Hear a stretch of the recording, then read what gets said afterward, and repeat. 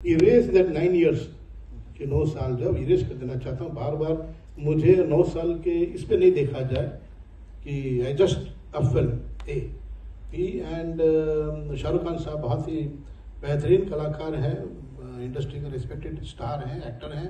और बहुत अच्छे इंसान हैं, मैं बहुत अच्छी तरह जानता हूँ उनको।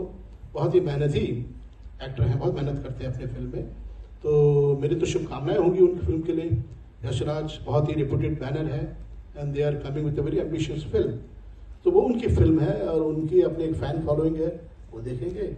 और हमारी फ़िल्म जो इस तरह के सब्जेक्ट में रुचि लेते हैं इस तरह के फ़िल्म दे, देखना पसंद करते हैं very different ours is not a song and dance kind of film very different तो दोनों अपनी अपनी जगह है फ़िल्म तो मुझे, मैं कभी परिचिंता नहीं करता हूँ चीज़ का कि सामने वो है ये है वगैरह। ओनली फोकस अर्जुन की नज़र जो है, वो सिर्फ़ तीर जो है उसके मछली के आँख में है और कुछ नहीं।